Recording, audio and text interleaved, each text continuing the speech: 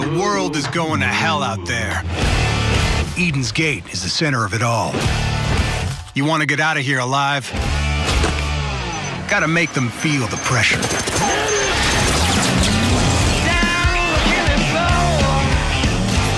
Sabotage their plans. Destroy their convoys and their guard stations.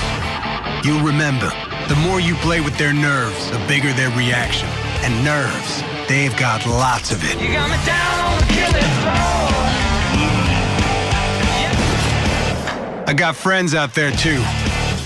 Good people. They're ready to resist. All they need is a spark. The more you help liberate a region, the more the resistance meter will fill up. And the more resistance means more people who fight by your side. Let's make sure we don't disappoint.